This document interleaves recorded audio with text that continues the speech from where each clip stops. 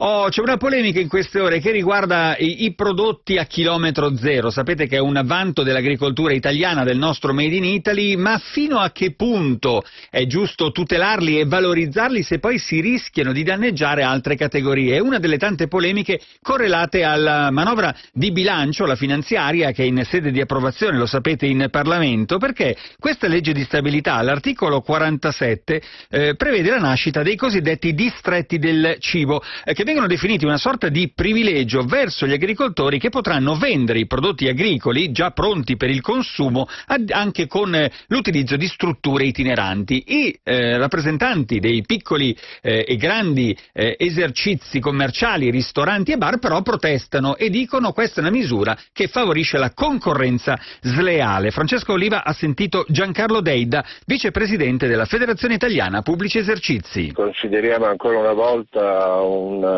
un'attenzione particolare al mondo dell'agricoltura, però vorremmo che si rispettasse un principio, per lo stesso mercato le stesse regole. Con questo sistema si dà la possibilità di trasformare, vendere in qualsiasi luogo anche con mezzi mobili e quindi a questo punto forse aprire anche ristoranti in situazioni in cui non è neanche abilitato. Quindi il principio è sì tutti produciamo per la qualità italiana, ma se è possibile rispettare stesse regole per lo stesso mercato. Il governo così facendo in che modo sta agevolando gli agricoltori? Fino adesso c'era una norma che diceva che si poteva produrre e vendere sul luogo di produzione. Adesso portandoli alla possibilità di vendere con i mezzi mobili, allocandoli dove li vogliono e appunto metterli a disposizione addirittura stabili non abilitati e quindi spostandoli spostandoli dal luogo di produzione, a questo punto si entra su un mercato diverso, quello del mondo della ristorazione.